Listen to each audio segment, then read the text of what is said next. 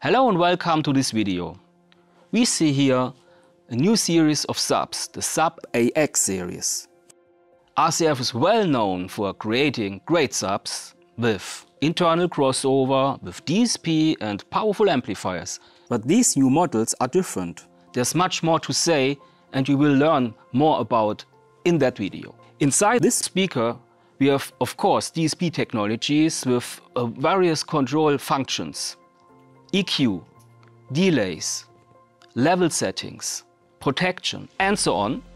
And a very special feature in these models is that we have not just the possibility to configure it as a mono sub, we have stereo inputs, and we have the possibility to create presets, and you can use it to run that system with a second one in cardioid mode. Included in Sub AX is the RCF's proprietary algorithm called Bass Motion control. The X in AX means more to do. And one very important feature is that that speaker is featuring Bluetooth connection.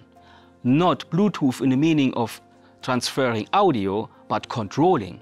With a control app, you can set everything what you need, crossover, equalizer, delays up to 45 meters, just with your mobile phone. What is really special is the crossover output.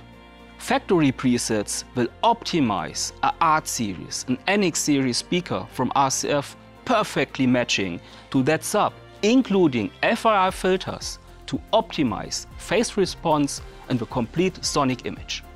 With Sub AX, RCF set a new standard because it's not just a new sub with a better sounding, a more SPL. No, it eases your life because with the feature inside, especially for presets, the remote control, it's so handy, so easy to match speakers together with a great, great sound experience. Thank you for watching.